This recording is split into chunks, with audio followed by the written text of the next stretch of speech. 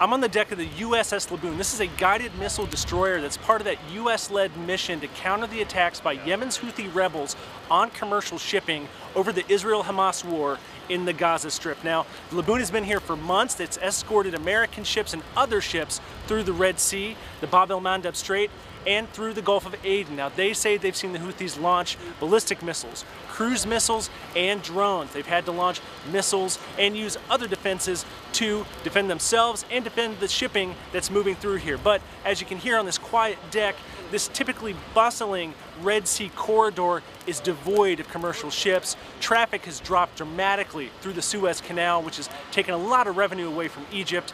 And as of right now, the U.S. is continuing airstrikes and continuing to knock down these Houthi weapons that get fired. The rebels are continuing their fight, and this conflict goes on.